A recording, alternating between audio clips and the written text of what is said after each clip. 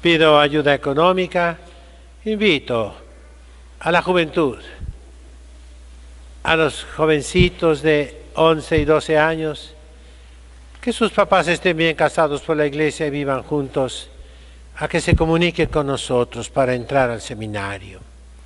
Invito a las muchachas de 12 a 17 años a que entren al convento.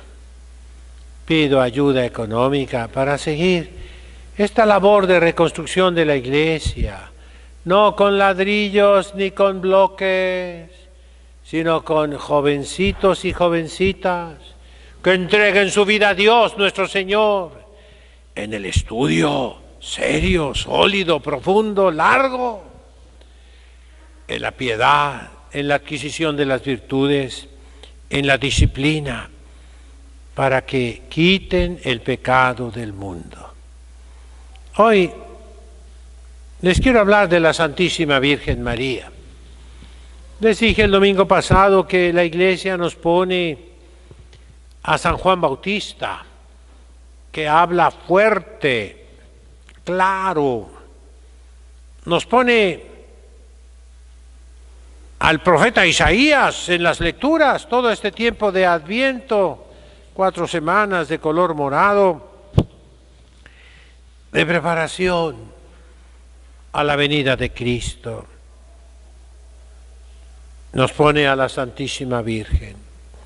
Tres personas, tres figuras que nos van a preparar para que venga Jesucristo. Y hoy quisiera hablarles de un hecho me contaba un sacerdote hace varios años que él tenía muchos hermanos y ya murió ese padre. ¿eh? Me decía que una vez fue con su mamá a quejarse de un hermano suyo, muy duro. Y la mamá lo escuchó y le dijo, tienes razón, tienes razón en todo lo que tú dices. Tu hermano se porta mal, es malo contigo. Sacerdote. Pero yo nada más te respondo, es tu hermano.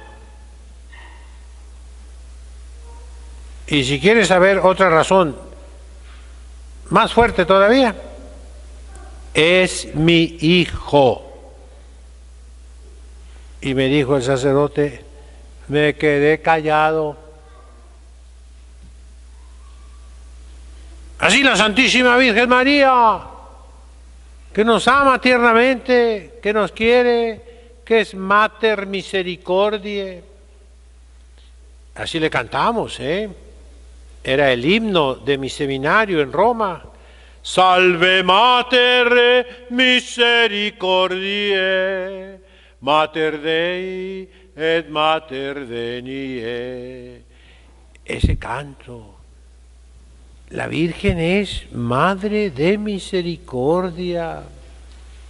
Y así como te quiere a ti, quiere a tu enemigo. Un padre decía una reflexión en estos días, la vi por internet, que María Santísima no fue la única mujer concebida sin pecado. A ver, hay otra mujer que fue concebida sin pecado. ¿Quién fue? ¿Eh? ¿Lo viste en internet? Ah, bueno, yo también lo vi. Es cierto, fue creada por Dios sin pecado original. Pero tristemente por ella nos llegó el pecado, ¿eh? Por una mujer. ¿Qué sentiría nuestra madre, nuestra madre Eva? ¿eh? Cuando vio que Caín asesinó a su propio hermano Abel. Dolor por Abel, claro, pero tal vez más dolor por Caín, por la maldad de Caín. La Virgen Santísima es nuestra Madre y claro, nos da su ternura, su amor, su intercesión, su mediación, su corredención. Pero sufre por nuestros hermanos.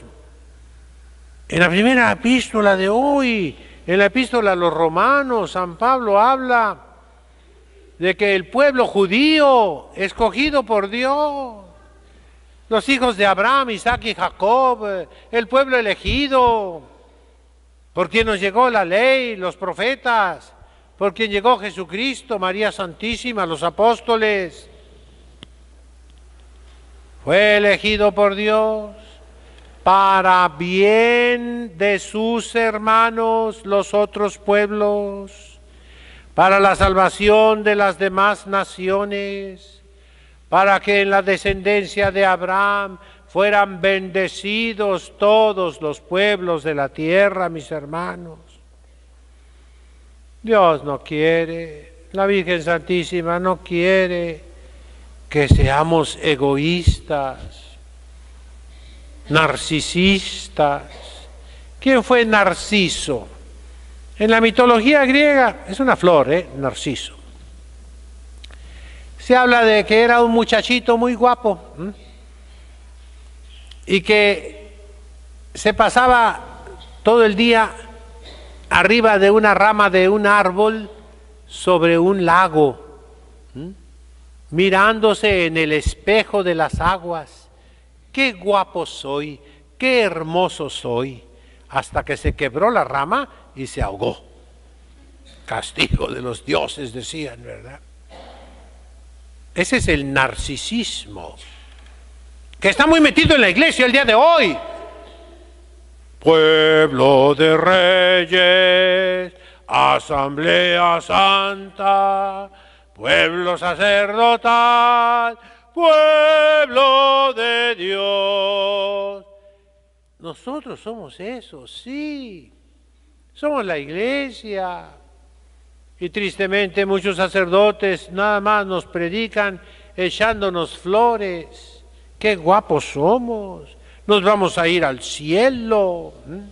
Fíjense nomás, cuando se muere alguien, los sacerdotes, los obispos, ¿qué dicen luego, luego? Ya se fue al cielo. ¿Han oído eso? Ya está en el cielo. Oh, pues no que había un purgatorio por ahí, no que había un juicio particular, que no hay que darle cuentas a Dios. Cuentas claras, amistades largas, ¿eh? Aquí se habla de amistades eternas. ¿Todo el mundo se va al cielo? No, mijito, no todo el mundo se va al cielo. ¿eh? Ni tampoco somos tan bonitos y tan guapos. Todas las demás naciones necesitan recibir de nosotros, como antiguamente necesitaban recibir de los judíos la salvación pero fueron pérfidos, rompieron el pacto con Dios. Cuando llegó el Mesías vino a los suyos y los suyos no lo recibieron. Y entonces nosotros tomamos el lugar de Israel, de los judíos, y estamos obligados a salvar todas las naciones, a predicar el Evangelio hasta los últimos rincones de la tierra. Somos responsables de la salvación de nuestros hermanos. No podemos vivir tranquilos cuando que hay millones y millones de personas sumidos en las tinieblas y en las sombras de muerte. Como dice el Santo Evangelio. Y ellos son hijos de Dios, son hijos de la Santísima Virgen María, que nos pide a nosotros que los amemos, que los salvemos, que los iluminemos, que los enseñemos. El día de hoy no hay misioneros. El día de hoy nadie se preocupa de que se salven y se conviertan los musulmanes, los budistas, los hinduistas, los judíos. Nadie. No, cada quien se salva en su propia religión. Dios quiere que haya muchas religiones. Todas las religiones son buenas. No, mis hijos, no es cierto. No es cierto. La vida eterna consiste en que te conozcan a ti, Padre, y a quien enviaste, a Jesucristo. En eso consiste la vida eterna. El que crea en Jesucristo se salvará, el que no crea se condenará. De una manera o de otra, Dios en su providencia, en su omnipotencia, en su misericordia, lo sabemos por fe, a cada ser humano siempre le da la oportunidad de salvarse. Pero nosotros somos instrumentos de esa oportunidad. Somos luz del mundo para alumbrarlos para guiarlos. La luz, mis hermanos, puede servir para leer, pero las más de las veces la luz no sirve para leer, pero sí sirve para orientar, para guiar, para dirigir. Allá está esa luz. Por ejemplo, un faro en el mar. Es una luz que le dice a las naves, a los buques, a los barcos, a los botes, a las lanchas, allá está el puerto. Aquí tenemos un faro en playas de Tijuana. Hay otro faro llegando a Ensenada, a la derecha. Esa luz no sirve para leer, ¿verdad que no? No, pero te guía, te orienta, te dirige. Y eso eres tú en este mundo. En este tiempo de Navidad, prendan foquitos, enciendan luces, pongan el nacimiento, arreglen sus casas, pero principalmente Ilumínense ustedes con una buena confesión bien hecha, que luzcas. La palabra lucir tiene varios significados en castellano. Una es dar luz, la principal. Pero también, mira, qué bonito luce esa niña. La vistieron tan elegante, tan bonita. Lucir también es la belleza. Vamos, hermanos. También lucir significa hacer algo bien hecho, desempeñarse perfectamente en algo, hacer una proeza, una hazaña. Hombre, ese torero se lució. Trae un traje de luces, ¿eh? Ahora ya ni se puede hablar de eso porque los defensores de los animales, ¿eh? Ahora me trajeron un perro aquí, ya lo corrí, ¿eh?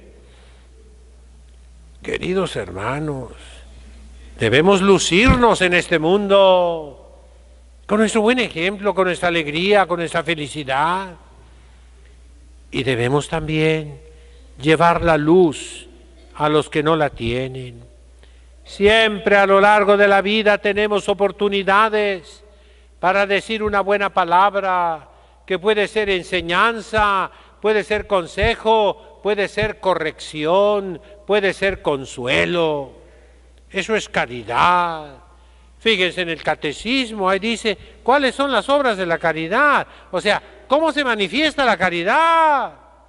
Y así comienza. ¿Mm?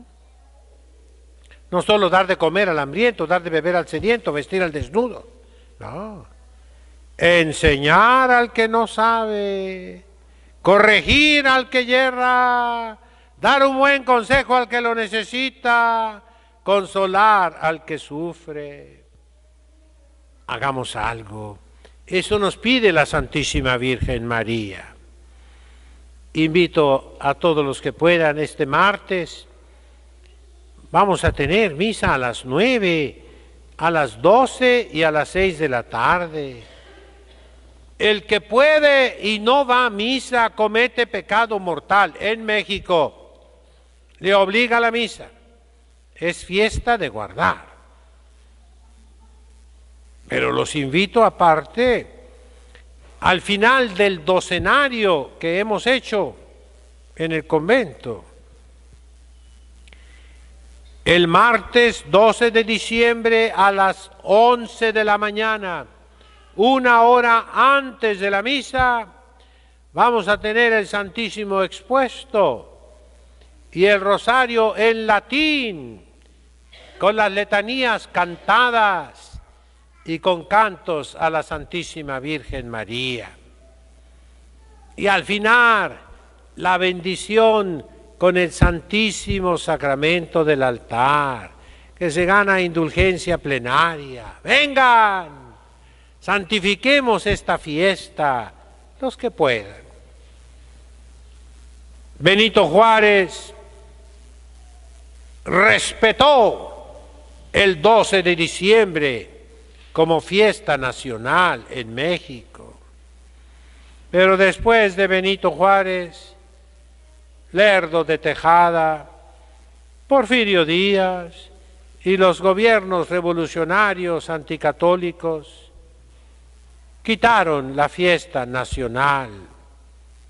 Todavía hace poco los bancos cerraban el 12 de diciembre. Ahora ya ni eso. Yo los exhorto a que ustedes observen ese día de fiesta. Se apareció en México y el Papa León XIII le aplicó a nuestra nación mexicana la frase de un salmo, non fecit taliter omni nazioni no hizo tal cosa con cualquier nación, solo con México. Este cerro elijo, este cerro elijo, este cerro elijo para ser mi altar. Nosotros somos ese cerro del Tepeyac, mis hermanos. Los invito, traigan gente, busquen gente, inviten gente. No al mariachi, no a la tambora, no a los indios bailando, no, mis hijos. Al rosario solemne y naturalmente a la Santa Misa. Es por nuestra Madre Santísima del Cielo, por ella, que nos quiere salvadores del mundo, que nos quiere quitadores del pecado del mundo, que nos quiere luces, faros, que orientemos al mundo. En nombre del Padre, del Hijo, del Espíritu Santo.